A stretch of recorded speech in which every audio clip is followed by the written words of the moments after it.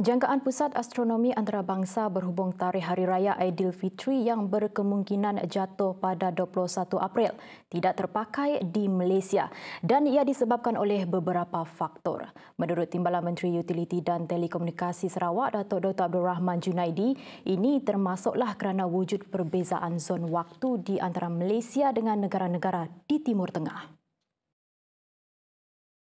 Sehubungan itu, kata beliau, tidak semestinya apa yang diramalkan oleh pusat berkenaan yang berpangkalan di Emiriah Arab Bersatu UAE akan sama dengan keputusan di Malaysia.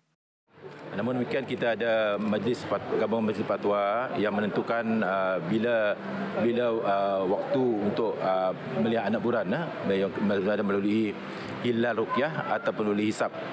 Jadi pada tentunya pada tahun ini ya untuk untuk bermulanya bulan Ramadan kita menggunakan nisab. Ha?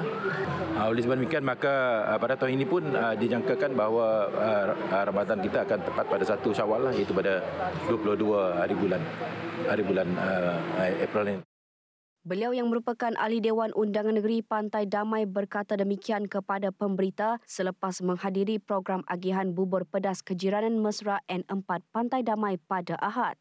Sebelum ini, Pusat Astronomi Antarabangsa menjangkakan akhir Ramadan pada tahun ini jatuh pada Kamis bersamaan 20 April 2023. Laporan portal Gulf News bagaimanapun menyebut beberapa negara di Asia termasuk Australia mungkin sukar melihat anak bulan Syawal dengan mata kasar maupun menggunakan teleskop khas. Mengikut amalan, tarikh sambutan Aidilfitri di Malaysia bergantung kepada pengisytiharaan penyimpan mohor besar Raja-Raja. Pengumuman dijadual akan dibuat pada 20 April ini.